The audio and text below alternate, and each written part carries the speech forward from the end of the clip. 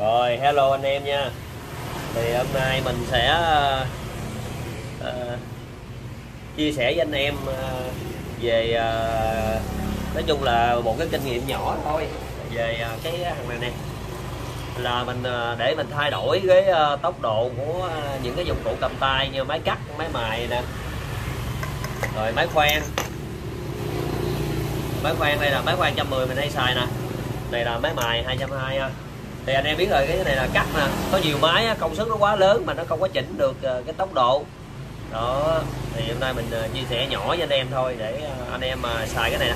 Anh em cắt cắt mạnh quá thì nó rần tay thứ hai là nó, nó bể đá rồi rất là nguy hiểm.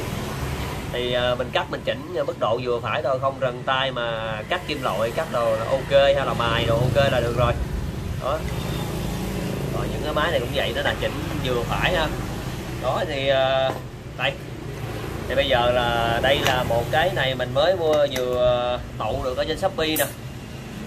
Lazada shopee à, là mình tậu trên shopee nè em cái này để cho nó là dụng cụ là uh, chỉnh tốc độ máy mà cầm tay hay là máy mà mài gốc gì nó sẽ ra thằng quỷ này ha. Và thằng này nó để là 220V và 4000W nó để 4000W chứ bao nhiêu watt thì kệ nó mình không phải là dân điện tử cho nên là mình cũng không có cần ờ, quan tâm tới. Ở đây là cái núm này là núm đen là riêng nè ở trong đây nó có con vít chỉnh nha nhưng mà về nhà mình ờ, mình đóng cái núm này vô đóng bặn vô lại vô. Đây nút chỉnh nè. Đó thì ở đây là mình mình dặn được chuyển đồng hồ cho nó về không thì mình tăng lên từ từ từ từ.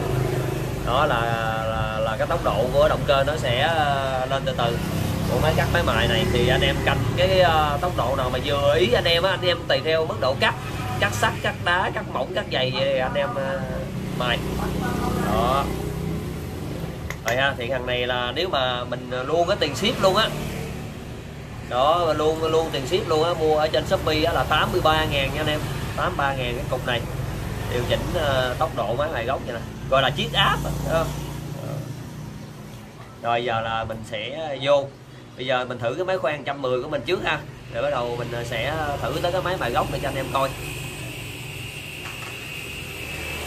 Đây là cái cục 110 nè mình hay xài cái máy uh, Makita 110 nè anh em. Thì đây là tốc độ của nó nè. Oh, à, mát biết của nó ha. Thì uh, cái này khoan thì thường mình hay sấy xúc bắp với lại khoan ờ, những cái lỗ này là tối đa của nó là 8 ly nè đó, thì bây giờ mình thử vô ờ, mình thử 110 vô cái máy này coi nó sao ha. Rồi ờ, sau đó mình sẽ thử máy mài gốc anh em. Hiện tại là mình rút máy khoan này ra, khỏi ổn 110 đó. Đây nè, anh em. Rồi, ở đây là mình để nó xếp đây luôn cho dễ anh em dễ ờ, coi ha. Rồi, mình sẽ cắm ra, mình dặn nó vị trí về là điện áp nhỏ nhất nè. Rồi chim kêu đồng hồ về cho cái điện áp nhỏ nhất. Ờ, Đấy, 110 xài đường luôn nha anh em. Đây. Đây đã đã câu dây rồi rồi. Câu dây thì nó có hướng dẫn ở trên đây nha anh em. Bây giờ mình ghim vô nè. Ghim vô. Rồi đang điện 110 nha anh em. Rồi ghim vô ha. Rồi. Rồi bây giờ là mình sẽ mình sẽ ghim điện à, cái máy Makita vô nè. Đây máy Makita nè anh em đây, mình đã ghim vô 110 ha thì máy Makita để qua đây. Đây đó. Rồi. Rồi mình sẽ ghim điện máy Makita vô ha. Đây. Đó ghim vô. Đó bây giờ là mình sẽ ờ, mình bật cho cái máy này là quay thường quay luôn nè. Đó mình gài chết ha cho nó quay tự nhiên luôn. Đó. Ha anh em ha. Rồi đó. Đây. Bây giờ bắt đầu mình chỉnh ờ, mình chỉnh chiếc áp lên nha. Thì à, mình chỉnh chiếc áp lên nó sẽ quay từ từ nè anh em. Nè. Đó ha thấy chưa? À, quay lại lại lại gần đây ra coi ha.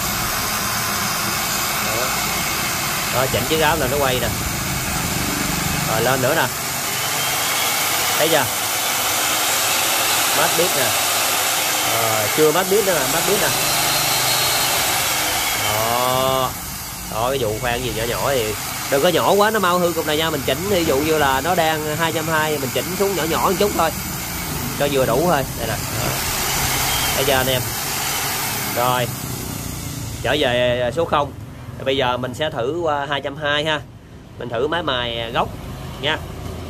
Rồi máy là đen 110 là ok nè ha. Đó thì máy khoan này mình cũng không cần điều áp làm gì chủ yếu là máy cắt máy mài gốc rồi thôi. Đó, máy cắt đè tay rồi đó. Rồi thì đây là nguồn điện 220 ha là cô bắp sẽ chỉnh nó qua cái điều áp đều qua cái nguồn điện 220 để xài cho cái máy mài gốc này ha. Rồi giờ mình ghim vô nè. Vô nha anh em. Rồi nguồn điện 220 rồi thì để cho à, là cái nút à, tắt mở này là nó ok thì mình để lên đây nha. Để lỡ mình đang bật cái công tắc mà vị trí à, mà mở thì nó phiền phức lắm. Có thể là đá, cái đá cắt này nó sẽ nguy hiểm. Vào đây ha. Rồi. đây nè, máy mài gốc nha anh em. Nè. Chế nút ở đây nè.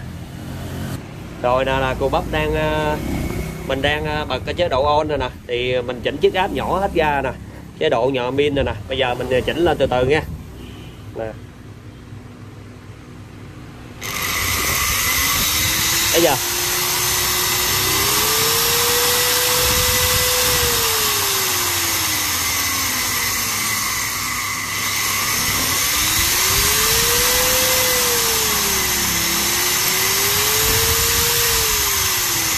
rồi, chỉnh nhỏ lại nè. Đó, thấy chưa? Bây ra lại một cái nữa nha.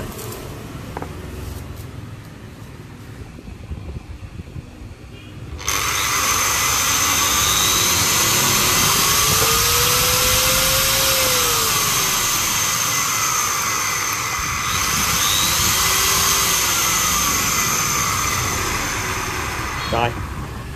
À, tắt nha đây rồi với dụng cụ này thì uh, trên uh, shopee á bán là động là mình à, để là mình à, đóng lên là gì chiếc áp điều khiển à, gì đó, là điều khiển tốc độ máy bài gốc vậy đó, là nó sẽ lên cái này là 4.000W nó để 4.000W thì bao nhiêu watt mình không biết. Nhưng mà xài cái máy mài với máy khoen này là mình thấy ok nha anh em. Hồi nãy sáng mình cũng có cắt sắt đồ thử đó.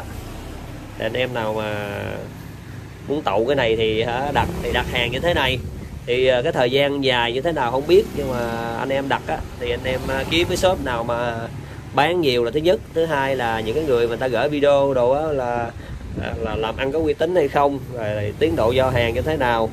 Thì cái này là khoảng 4 ngày là có nè lúc mình đi gửi là lúc mà mình mình đặt hàng thì khoảng 4 năm ngày vậy là có đó đây thì à, mình để số điện thoại rồi lại rồi mình đăng ký thì ví dụ là đơn hàng đã được giao gì đó hay là đang giao vậy đó thì à, mình à, chờ chờ người ta gọi điện thoại hay nhắn tin gì đó thì chừng nào ấy thì mình sẽ lấy lấy xong mình trả tiền thì có 83 ngàn thôi nha. Cái bộ là 83 ngàn. Về mình đấu dây mình muốn câu vô đâu, anh em muốn câu vô đâu thì tùy ý anh em thôi nha. Mở lại một lần nữa nè.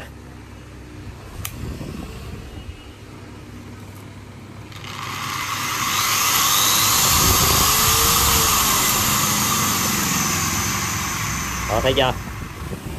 Rồi cái này thì chia sẻ nhỏ thôi cái này mình biết mình chia sẻ thôi chứ không có gì hết.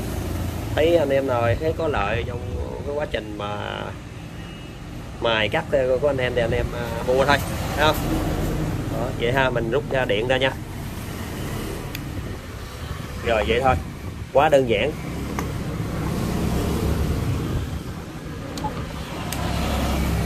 Rồi thì cái này là giá nó cũng rẻ bèo anh em ơi. Anh em nào muốn tậu thì tậu về để xài nha. 110 220 gì xài được hết anh em. 110 thì mình cắm ờ, cái này vô 110 để mình ờ, chiếc áp đó để mình chỉnh. Còn 220 thì mình gắm vô ờ, bên ổ 220 thôi. Đó, thì mình xài hai cái máy này là thấy ok đó. Nhưng mà thời gian sẽ trả lời coi ra là cái độ bền nó như thế nào ha. Rồi với một dụng cụ đơn giản như thế này thì anh em có thể là chỉnh được uh, tốc độ của cái máy uh, bài tay của anh em những dụng cụ cầm tay và xài điện 220 110 gì đó. Thì anh em uh, cái này là cái miếng gỗ này nó hơi thiếu nha. Thì anh em làm sao miếng đẹp thôi xài miếng vết cấm anh em câu. Thì anh em mua về nó có sơ đồ để uh, câu. Anh em cứ câu theo sơ đồ là ok là nó có bốn giây nữa đó. Vậy thôi ha. Cũng đơn giản anh em ơi hai dây vô hai dây ra thôi ở đây nè có hai dây vô nè hai dây này là điện dù dụ anh em xài 220 thì hai dây này là điện nguồn vô nè. Còn hai dây này là nguồn điện, điện nguồn ra thôi. Một ờ, một hai là dây vô. À, nó có do chữ là một hai hai số một hai ở đây là dây vô nè. Đây không thấy được ha. Một hai là vô còn ba bốn là dây ra. Đây điện ờ, xây chiều anh em câu hai dây lộn qua lộn lại cũng không sao hết. Đừng có câu lộn bên kia thôi. Nói chung là một hai là hai dây vô à, nguồn điện lưới còn à, ba bốn là dây ra chiếc áp à, là có nghĩa là ra là để mình chỉnh cái máy mài rồi ra máy mài ra cái dụng cụ cầm tay của mình xài ok ha Đó. thì à, qua cái à, clip này thì mình à, cũng chia sẻ với anh em để anh em nào mà hả, không biết à, tại vì cái máy của mình nhiều khi mạnh quá hay cắt nguy hiểm quá anh em muốn mà chỉnh tốc độ mà nó hơi nhỏ xuống mà không biết cách nào thì đây là một cái giải pháp là cũng là tương đối tốt để anh em sử dụng ha.